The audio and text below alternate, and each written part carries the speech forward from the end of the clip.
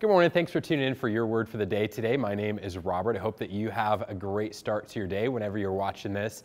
Um, got a question for you as we start. How many of you struggle to ask for help or accept help?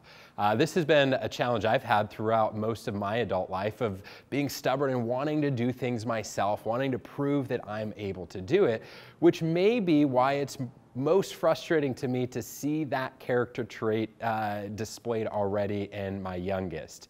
She's three years old and is very quick to say, Don't help me. She wants to do things herself. She wants to be the one to uh, accomplish whatever task is in front of her and will even shove me away uh, to, to further resist if I try and help. Uh, and today we're going to see a passage from the book of Exodus that, that really helps us get to the core of, of how we uh, see this idea of community and relationships and people helping us uh, in a really powerful way. And actually, I think, one of my favorite stories uh, from all of Scripture on this topic. So I'm going to read this uh, rather than just paraphrasing. I want to read this because I think there's power in God's word uh, just being read to us. so Exodus chapter 17, starting in verse 8, says, Then Amalek came and fought with Israel. So Moses said to Joshua, Choose for us men, go out and fight with Amalek. Tomorrow I will stand on the top of the hill with the staff of God in my hand. So Joshua did as Moses told him and fought with Amalek, while Moses, Aaron, and Hur went to the top of the hill. Whenever Moses held up his hand, Israel prevailed. Whenever he lowered his hand, Amalek prevailed. But Moses' hands grew weary so they took a stone and put it under him, and he sat on it.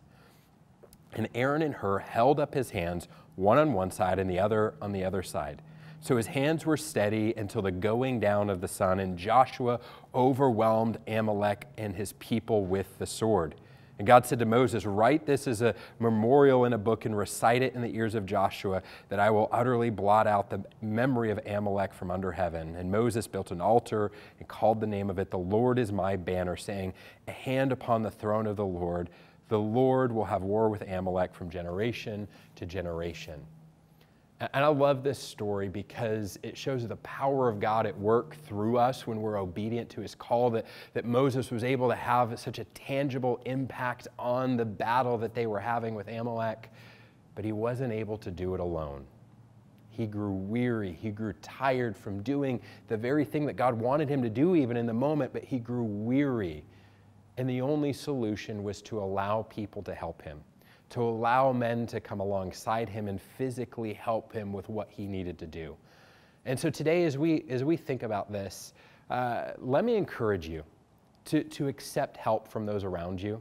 As you uh, face situations where maybe you grow tired and weary, where you don't know how to keep going in the good that you know you're supposed to be doing, allow people to help you. Don't be that person that says, No, I've got this, I can do this, I don't need help while internally thinking, I don't know if I've got this, I don't know how I can do this without help. There's, there's nothing wrong with accepting help, there's nothing wrong with asking for help.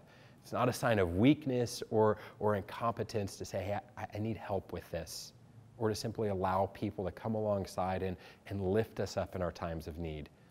But the second thing, if you're in a place where, where you don't feel like, hey, I'm really struggling, maybe God has placed you in someone's circle to lift them up Maybe you're in a place of, of, strength or health or opportunity to say, hey, let me be that person who comes along someone who's, who's struggling in a need and can literally lift them up and help them. And so today, I want you to evaluate am I in a place where I need help? If so, who can I ask to support me and to help me through this time? Or am I in a place to offer help? And who are the people around me that I can graciously and, and humbly uh, offer my assistance to, to lift them up? Because I believe that we're much better, stronger, or we're much stronger together than we are alone, uh, and that God has created us for community. Uh, and so today, build your community, allow people to, to come alongside you and help, and be that person who renders assistance when you have opportunity. Hope that you have a great day, Calvary. We'll see you next time.